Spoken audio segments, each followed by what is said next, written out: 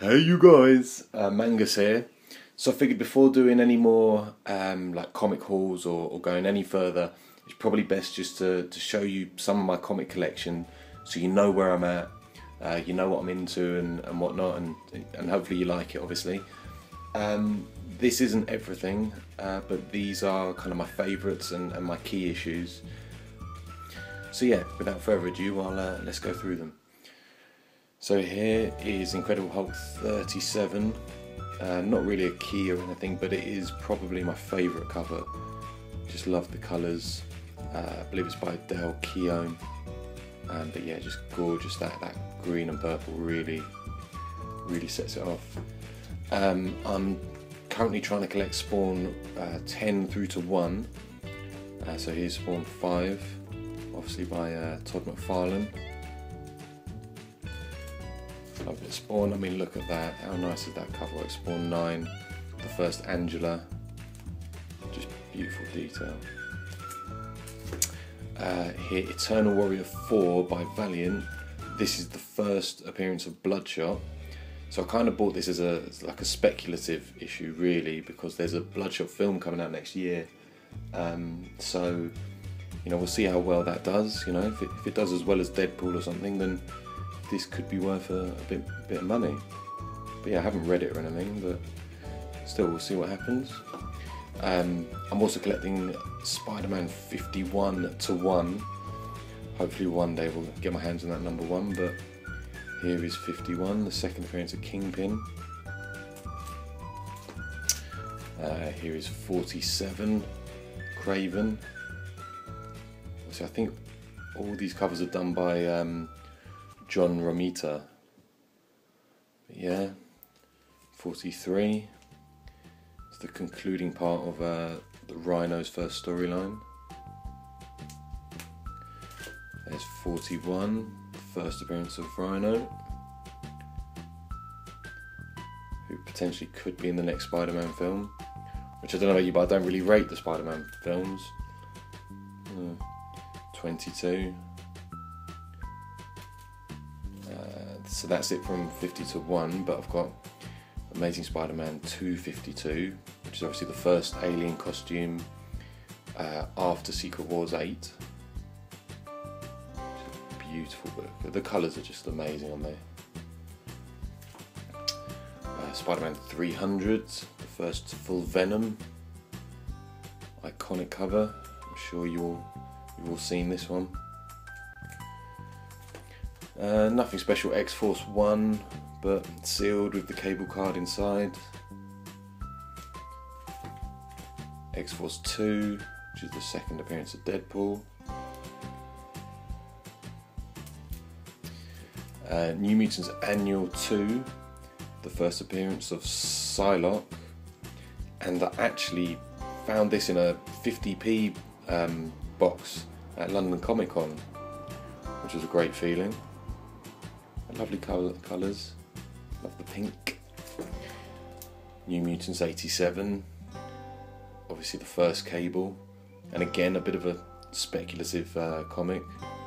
You know, obviously we've heard that Cable's going to be in Deadpool 2, so we'll see how he gets on. Hopefully the value of that will go up. Uh, Uncanny X-Men 221, first Mr. Sinister. Think it's by uh, Marc Silvestri, that cover work. And then 222, which is just, it's not a key really, but it is just a, a beautiful cover. Wolverine and Sabretooth going at it. Uh, X Men Annual 14, which is the first cameo of Gambit. Gambit is one of my favourite comic book characters. Very pleased to have that. And then obviously X Men 266, which is the first full Gambit. Um, X Men 10, Jack Kirby cover. Obviously, a huge Silver Age key.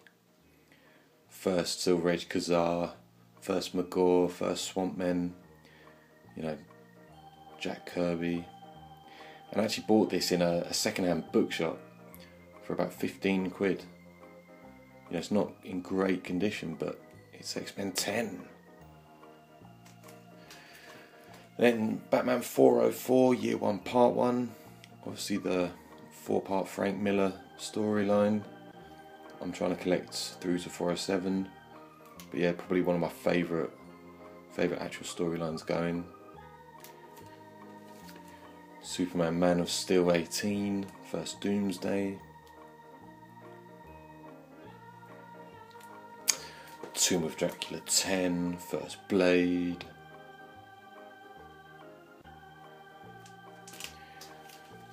Avengers 57, First Vision. Love that cover. Uh, then a very iconic Neal Adams cover, Green Lantern. Uh, was it Green Lantern 76? But yeah, you know, again in poor condition probably, but I'm just just happy to have it. And again, another Neal Adams cover, Batman 251. This, I believe, was the first time they uh, DC actually took back Batman and from the TV show and tried to get him back to his, his much darker roots than all that silliness. Iron Man 1, Say No More.